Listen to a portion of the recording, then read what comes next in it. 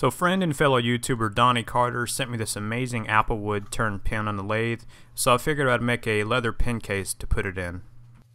For the cases I'm using some 3 ounce Chromexcel horse front leather. Uh, I've got some brown and some black. So I'm going to be making uh, 3 or 4 cases out of each color just to have on hand. Next up I mark a reference line a half inch down from the top on both edges of the leather. Uh, this is before gluing up the leather uh, and the reference lines help me determine where I need to start putting the glue. And I use a water-based glue for this. I find it doesn't stink and it does a pretty good job. The reason I don't put glue all the way to the top of this is so that fingers will have access to reach the pin and pull it out. With the glue tacky, I know it's dried enough and I'm ready to start putting this together. And when you're folding the leather together like this uh, before stitching, it's really important to make sure that the edges line up as good as you can get it. That way there's less stuff you have to do after it's glued up to get the edges true. And this is a half inch section that I didn't put any glue on. To add a little flair to make these look a little bit better, I'm using a half inch round chisel that I picked up uh, a set of these on Amazon.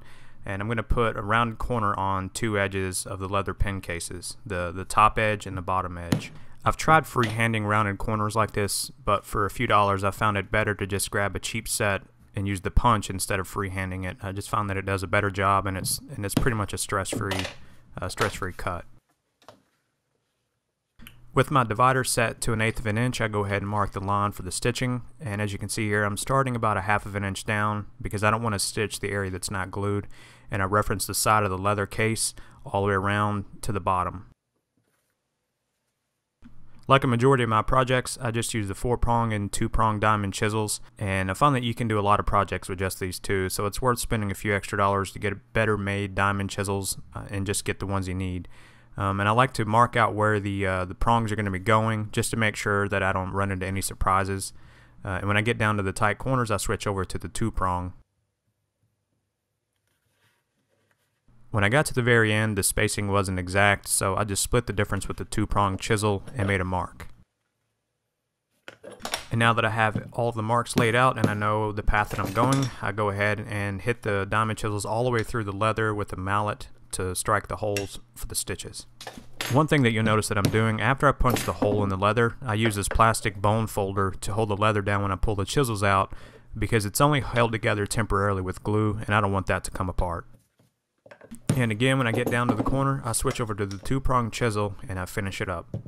And just a tip, when you are using the diamond chisel, it's really important to stay on your line that you marked with your dividers uh, to keep things nice and straight. For the brown leather case, I went with a Colonial Tan 0.8 millimeter thread. And to determine how much thread you're going to need, you'll want to trace your stitch holes with the thread, and then you want to take that amount and times it roughly by four.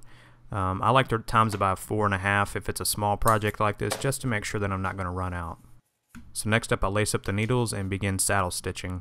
Uh, I'm not going to really cover the how I saddle stitch because it's kind of tough to get on camera. Uh, but I will link to a book in the description below on a, uh, a really great illustrated book on how to saddle stitch.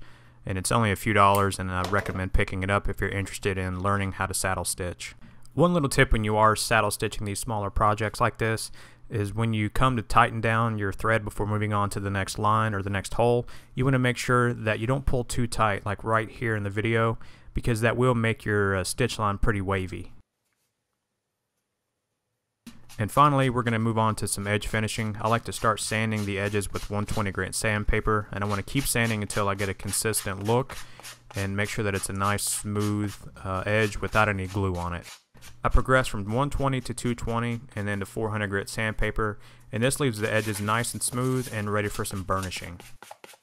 There's several different methods for edge burnishing, but I like to use the gum tragacanth, uh, and I apply it with a Q-tip and then after I apply it I want to make sure that I get all of the uh, gum tragacanth off of the dyed side of the leather just to make sure that it doesn't cause any issues and then I just use this wooden burnisher to burnish the edges and it takes several coats of this gum tragacanth and burnishing to get a nice sheen on the leather um, so after I apply one coat I will let the gum tragacanth dry and then I'll come back and sand it with a 400 grit sandpaper and then apply the gum tragacanth three or four times to get the uh, the sheen that I like.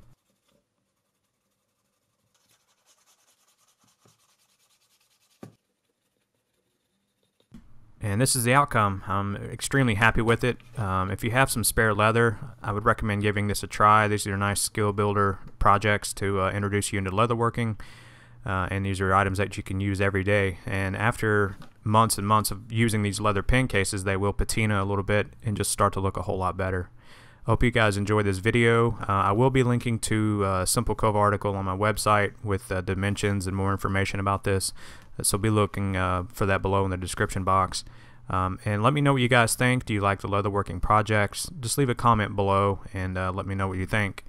Uh, if you like the video, hit the thumbs up button and share it with a friend. And if you're not already, please subscribe. Uh, thanks for watching.